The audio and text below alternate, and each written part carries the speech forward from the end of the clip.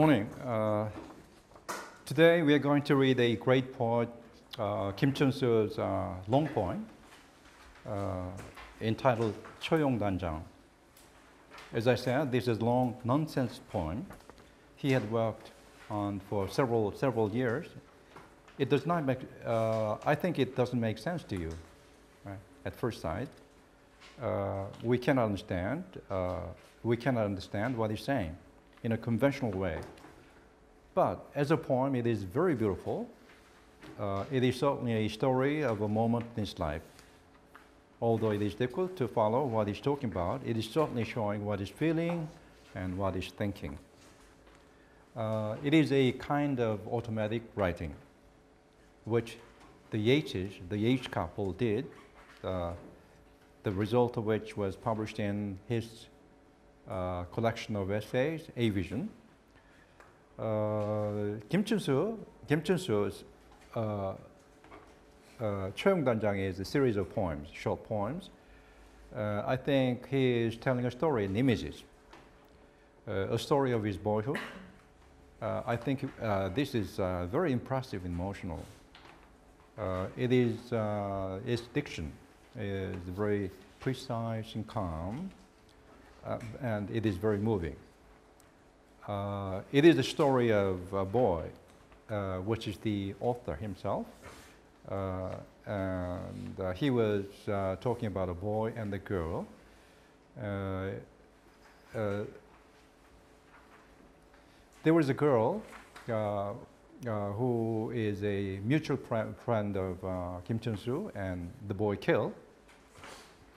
Uh, and the boy uh, was very. Uh, he, he was killed by a truck uh, because he, he played a very dangerous play. He rushed to the center of a street where the truck is rushing, and he, he was standing on the road. And at the last moment, he uh, escaped the, uh, being hit. He played it, he enjoyed it. But one day, he failed to get out of the, way, uh, uh, the way, and he was killed. And this is the story of the boy. And so we are going to read the uh, poem. And uh, also, okay, uh, let's uh, have a look at the poem.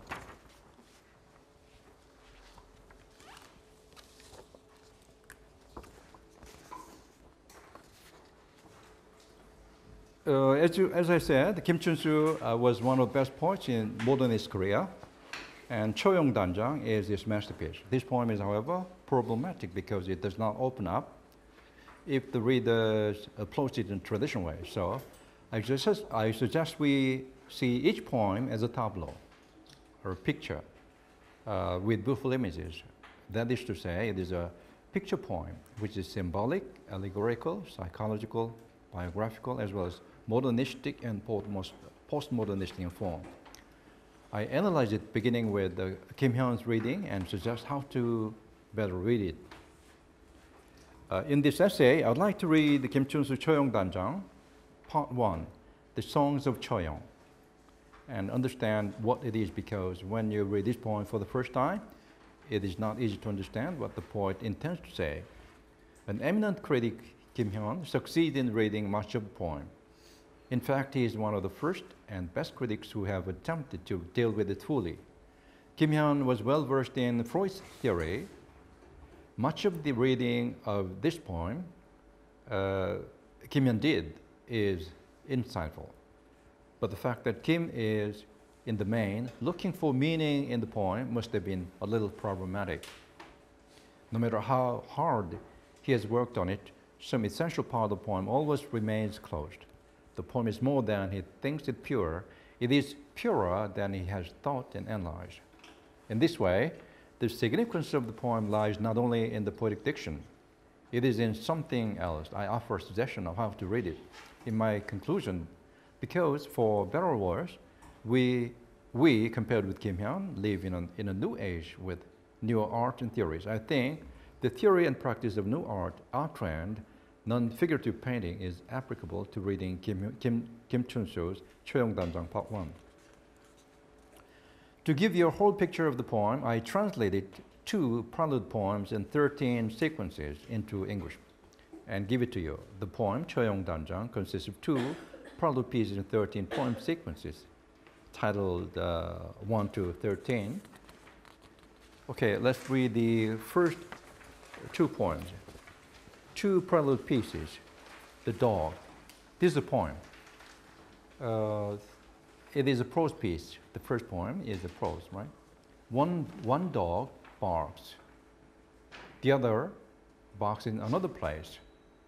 The two bark, clash, bleed. Beneath the low night sky, one dies. The other barely survives.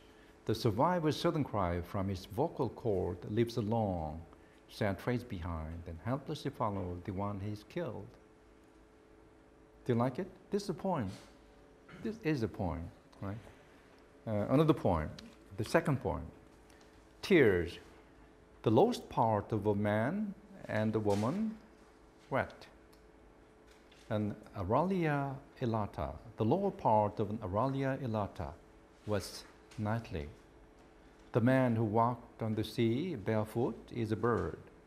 Only his feet were wet, they say. Can you understand? It's, we can hardly understand it, but we can feel, right? And Choyong Danjang Part 1, Part 13 poem sequence 1. All day, the sea kept its eyes open like a mouse.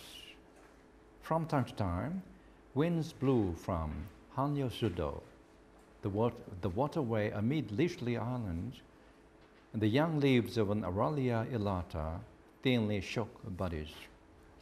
As the sun set, I heard a leech cry making burrows. Between my ribs, the red, red begonia was shedding its petals.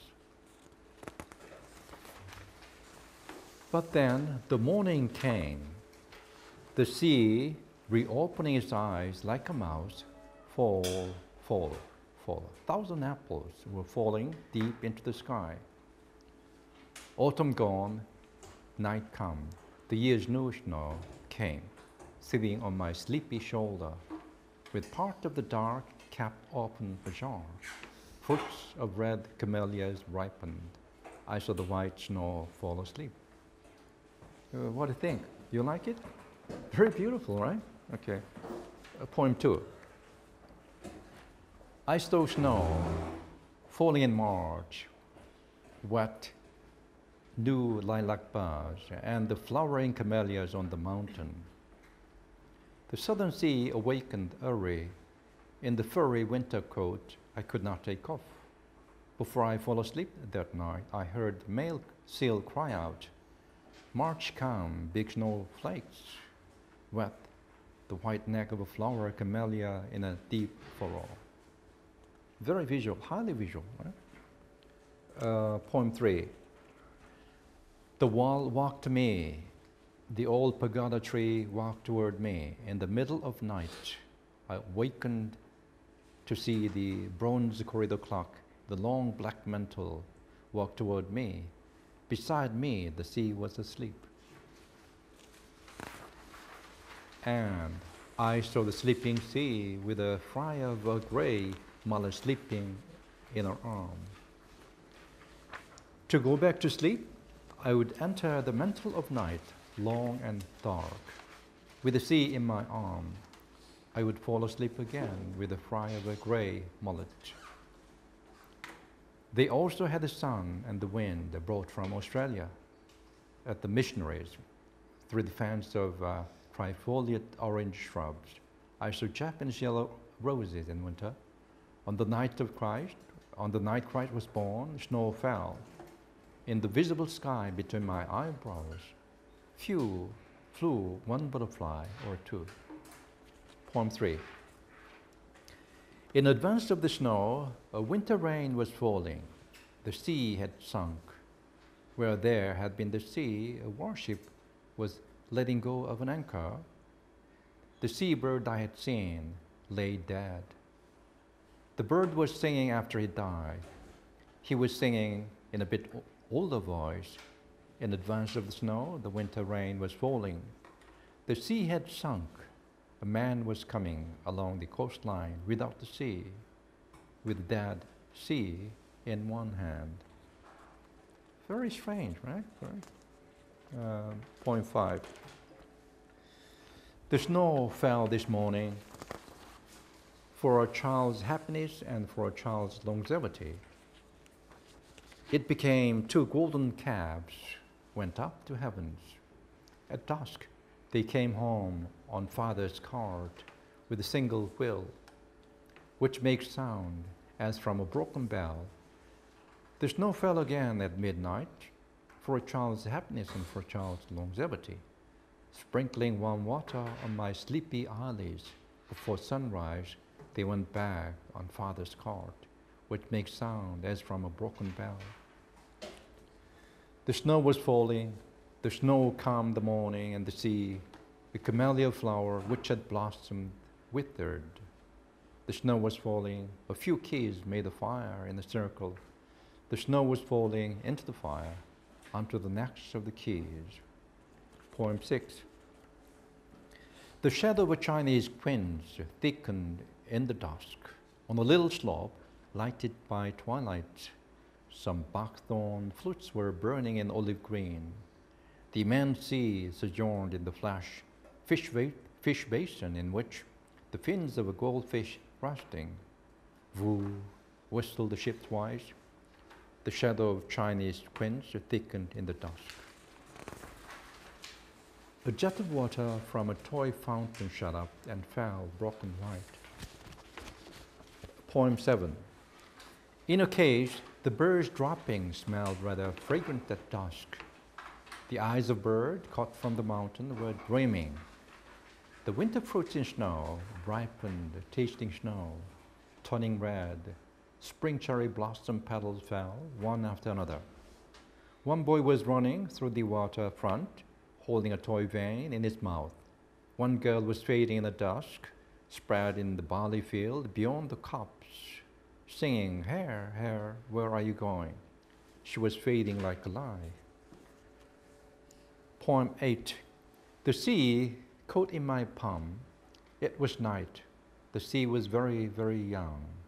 The chicks of an adjutant, a bird, flapped their feathers. Spring had receded, summer was coming. The sea grew up to my waist and breast, washing off the thick motley on my flesh.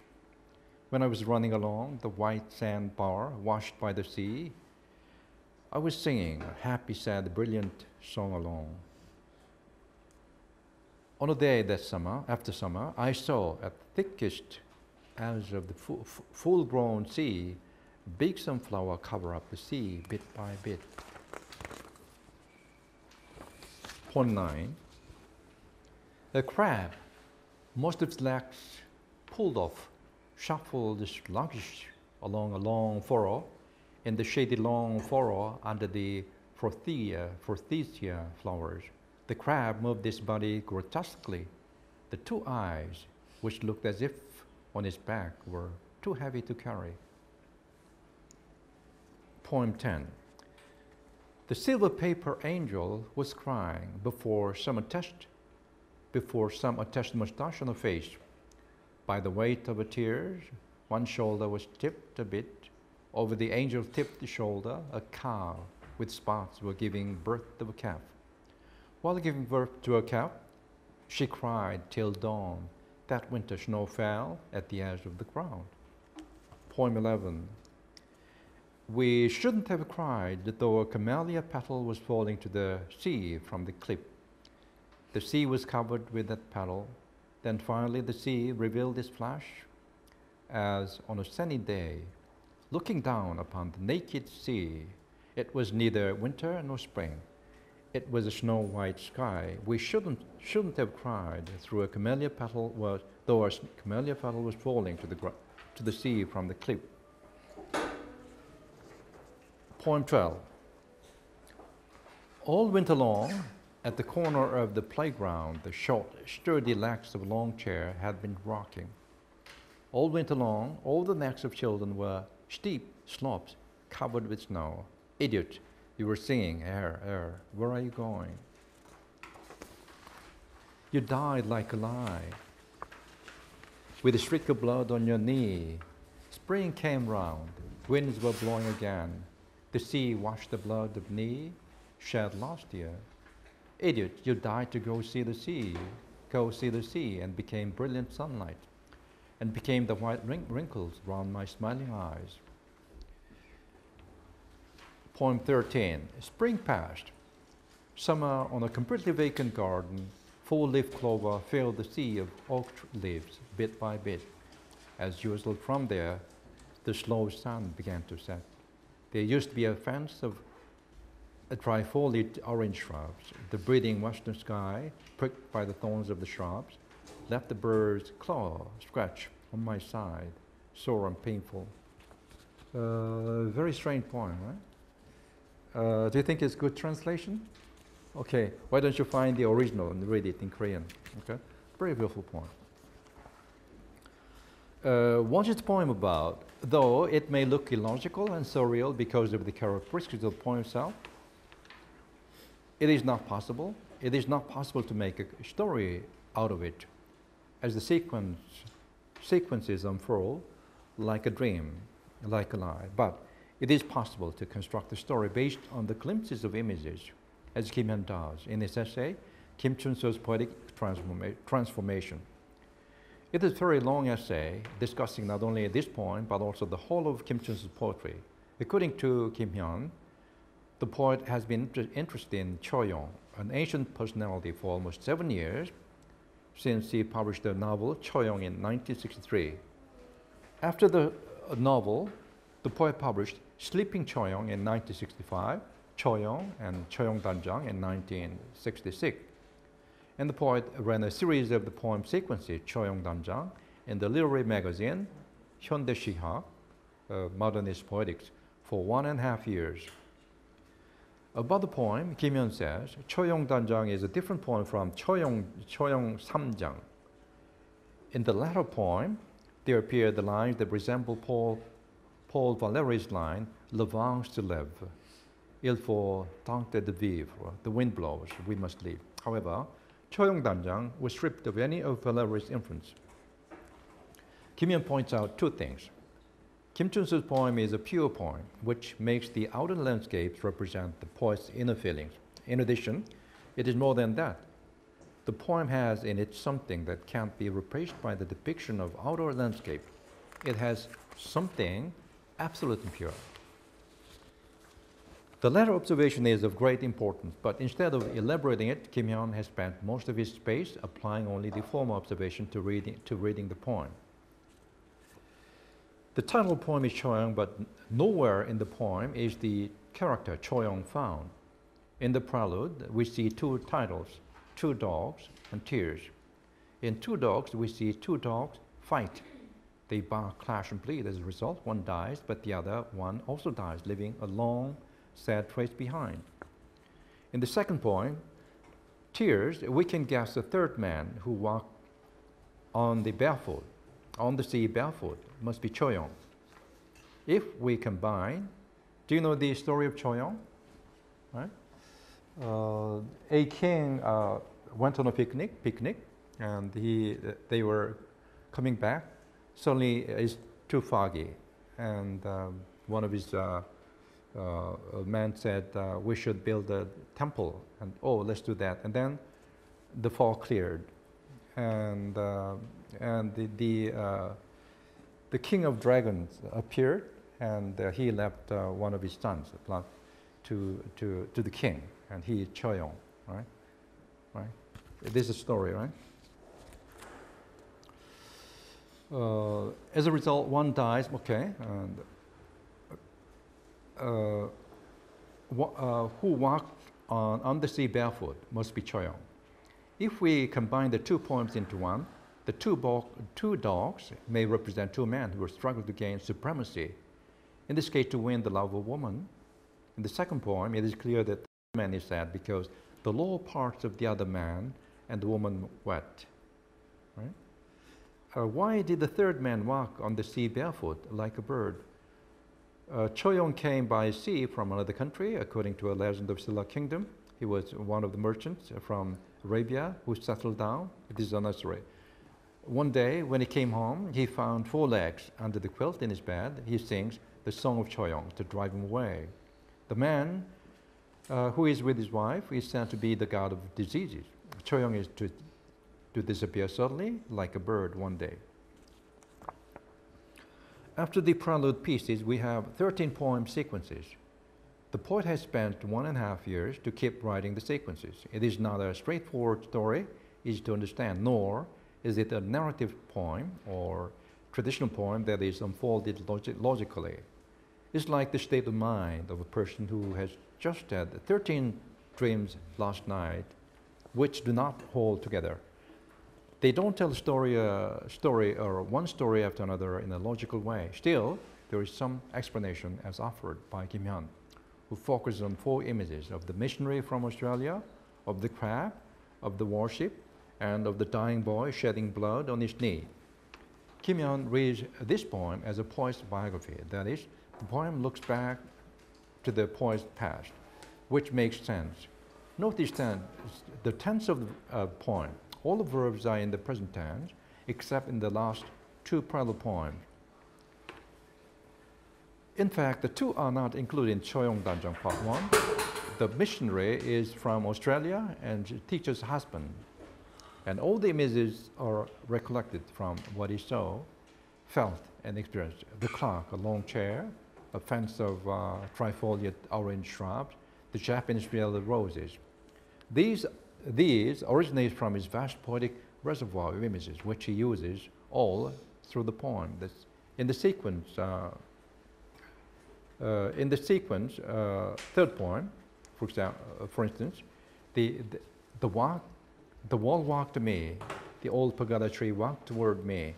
In the middle of night, I awakened to see the bronze corridor clock in the long mantle or black mantle walk toward me.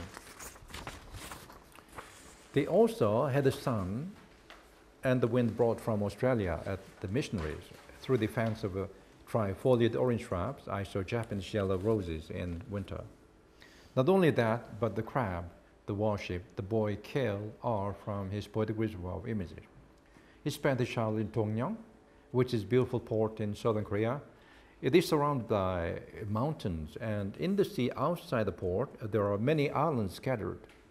In winter and early spring, camellia flowers are in bloom. Two of his friends appear in the poem. One is a girl who killed the crab, pulling, pulling the legs, though she is not mentioned in the poem. The other is a boy who will play a game. He runs into the street where cars are running. And when the, uh, when a car squishes to a stop just before him, he sticks his tongue out and runs away. But finally, a rock runs him over, killing him with his knee, shedding a streak of blood. First, there is an image of a crab crawling in the shadow of forsythia, forsythia, forsythia flowers. It is a crab that his friend had killed by pulling his leg in his childhood. According to Kim Hyun, who makes the comparison between this poem and the poet's novel Choyong, the incident has remained in his subconscious, which finds an expression of his castration anxiety in the poem. A crab, most of his legs pulled, shuffled sluggish along long furrow, in the, in, in the shady long furrow under the uh, forsythia flowers, the crab moved its body grotesquely. The two eyes, which looked as if it on a back, were too heavy to carry. The other incident in which his friend was run over by a truck is also described in the novel and in the poem. The image of boy is fleeting but strong. Idiot, you were singing, hare, hare, where are you going? You died like a lie with a streak of blood on your knee. Uh, Kim Hyun wanted to write pure poetry. Kim Chun Soo wanted to write pure poetry by saying that he sought for a state beyond being human, or a state of being in a dream.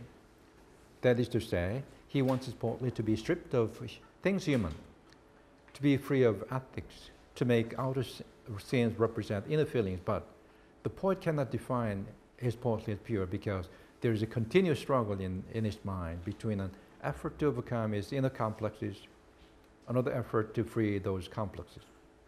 As Kim Hyun pointed out, the poet depicts what lies between the conscious and subconscious, as in Marcel Proust's beginning in a story, à la recherche du temps perdu, uh, in search of the lost time, lost time.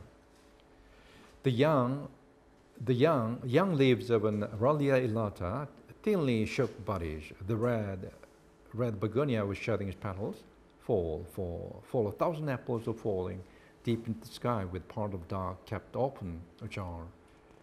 Fruits of red camellias ripen. This is the key image of the plants in the poem. And with these central images, the poet externalizes all kinds of childhood memories. The sun and the wind, brought from Australia, where there had been the sea. A ship was letting go of an anchor. A jet of water from a toy mountain shut up and fell broken white. Boy was running through the waterfront holding a toy vane in his mouth. One girl was fading in the dark, spread in the barley, barley field beyond the copse, singing her and are you going? She was fading like a lie. Crap, most of his legs pulled out. A cow with his parts were giving birth to calf. You, di- you died like a lie with a streak of blood on your knee. The concluding poem sequence uh, 13 is a synoptic summation of all in the subconscious externalized in this poem and his poetics as well. Spring passed, summer on a completely vacant garden, four-leaf clover filled the sea of oak trees bit by bit. As usual, from there, the slow sun began to set. There used to be a fence of uh, trifoliate orange shrubs. The blooding western sky, pricked by the thorns of shrubs, left the bird's claw scratch on my side, sore and painful. Another important image is that of sea. The, the South Sea of the Port Tongyeong is hometown. It is connotative. It is symbolic and allegorical, which represents mother. Kim Hyun comments on the different images of sea as follows. First, look at uh, point one. All that the sea kept its eyes open like a mouse.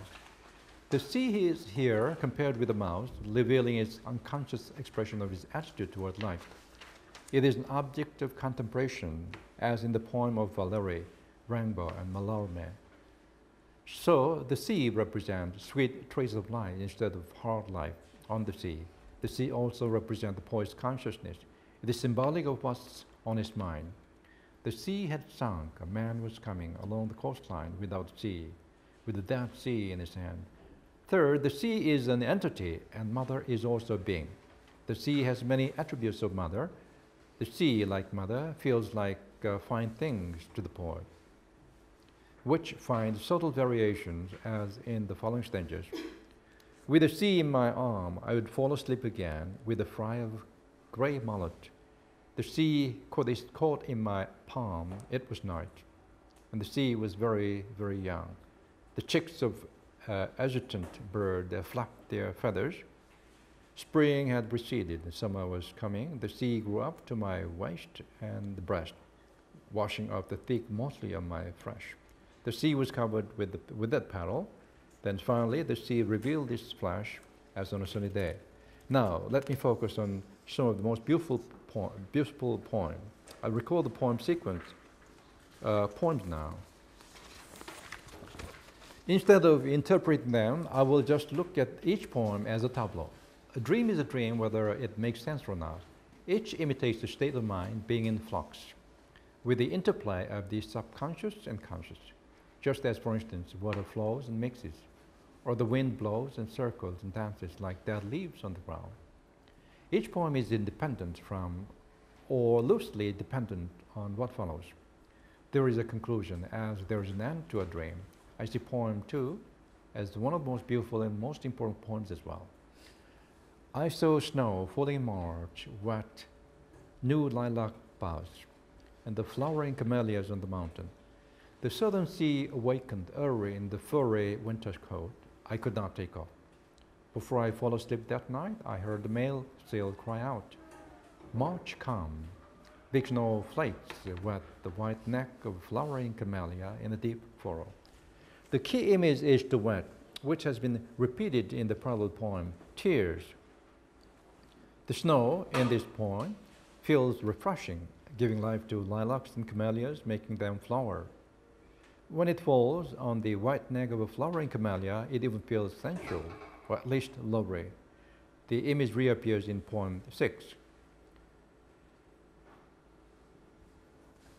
Uh, the, the, the poem was falling into the fire and into the necks of kids in poem two, 12. All winter long, all the wicks, all the necks of children were steep slopes covered with snow. Maybe Kim Yeon is a Freudian who thinks that the, to what is a basic condition for both man and nature, he often gives the image of sea as well. In the same vein, the poem seems to be involved in the human affairs in the parallel poem Tears, but the next 13 poems, he is neither involved nor so sad. He is a step away from the world and observes it and smiles, though life gives him pain, as in the concluding poem. You died like a lie, like a trickle, a trickle blood on, on your knee. Spring came round, winds were blowing again. The sea washed the blood of knees shed last year. Idiot, you died to see the sea and became brilliant sunlight, became the little wrinkles round my smiling eyes. As usual, from there, the slow sun began to set. There used to be a fence of uh, trifoliate orange shrub.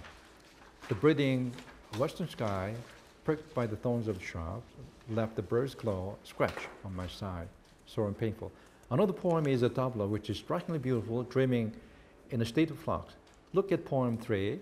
It is the dreamiest of the poems. He is dreaming back of his kindergarten days. The old pagoda tree, the bronze corridor clock, the fence of trifoliate orange shrub, Japanese yellow roses, butterflies. In the midst of all those recollected, the sea is a central image. The sea is near him, near the coastline, sleeping there with a fry of a gray mullet sleeping in her arm. But then the sea is in his arm. When he falls asleep again with a fry of gray mullet, the dreaming process is thus described. Beside me, the sea was asleep. And I saw the sleeping sea with a fry of uh, gray mullet sleeping in her arm. To go back to sleep, I would enter the mantle of night long and dark. With the sea in my arm, I would fall asleep again with a fry of grey mullet. In the middle of Choyong Danjang, poem 17 uh, has all major images that appear neatly but not very coherently. Yet, it is very beautiful, surreal tableau. A bird in a cage is dreaming, is gnawing on fruit. Cherry blossoms are in bloom. The boy is running with a vane in his mouth.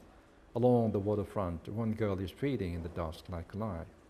In a cage, the bird's wrapping smelled rather fragrant at dusk. The eyes of bird caught from the mountain were dreaming. The winter fruits in snow ripen, tasting snow, turning red. Spring cherry blossom petal, petals fell one after another. One boy was running through the waterfront, holding a toy vane in his mouth. One girl was trading in the dusk, spread in the barley field beyond the copse singing, Hare, hare, where are you going? She was fading like a lie. The poet keeps dreaming, and in one moment, he feels as if he were a crab. Despite this, the whole poem is not that sad. For the poet is an objective observer and speaker. He remembers and externalizes in this poem many things he had experienced in his childhood. The poem has not cheapened all his childhood, experiences by not making it sentimental. He just keeps collecting key images put them in Tableau in such a way that all of them sound and look surreal and vivid. If he tried to tell us about his story in a logical way, it would become a very boring narrative. This had been a necessary practice for Kim Chun-soo to develop a new kind of poetry. As a result, as we know from literary history of Korea, he could create better poetry in his later poetic career. Despite the above analysis, how can we read Choyong Danjang, the poem? The moment we begin an analysis, the individual poem sequences, I call them poems now, of the poem of the poem disappear. The individual uh, poem, uh, poem sequences disappear. We can't see beauty of each poem. I think we, sh we should see each poem as a tableau with beautiful images. It is a picture poem which is symbolic, allegorical, psychological, biological, cultural, ecological, as well as modernistic and postmodernistic in form. Unlike painting, a poem's media is words. Each word has a meaning, so eventually the sentence must have a meaning. But each poem here makes something we can't make sense of. It is like an abstract painting, a painting that uses the medium colors that do not make a form. So, the analogy of Choyong Danjang and an abstract painting is established. Should we focus on the signifier or significant in the poem to form an image, tasting and feeling the texture of each sentence image in each poem, we could be one. We could be one with the poem as if in a dream. It is poem that, that is pure and absolute. This kind of poetry is rare, as Shakespeare's Phoenix from Turtle is one of the rare poems that are pure. In the last century, Gerstein has begun to do it again by writing a long poem, Tender Button, which revolutionizes the American poetry. In Korea, Kim Chun-soo is one of the poets who have done it along with Yi Sang. Kim Chun-soo is seen as one of the best poets in modernist uh, poetry of Korea and could compare well with W.B. Yeats in English poetry. Kim has experimented in nonsense poetry for almost 30 years, as seen above, while Yeats has experimented in automatic writing for almost 40 years, resulting in a vision. It is remarkable corollary that both represent the best of Korean and English poetry of the last century. Okay, thank you. We'll take uh, 10 minutes break.